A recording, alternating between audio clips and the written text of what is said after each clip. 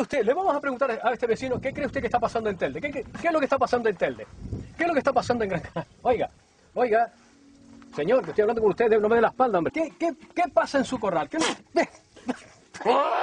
Zapatero, ¿qué opina usted del gobierno de Zapatero?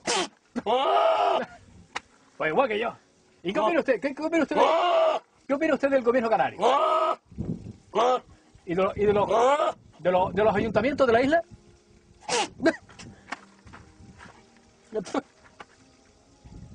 Le vamos a preguntar que si reciben alguna subvención del gobierno. ¿Reciben ustedes alguna subvención del gobierno?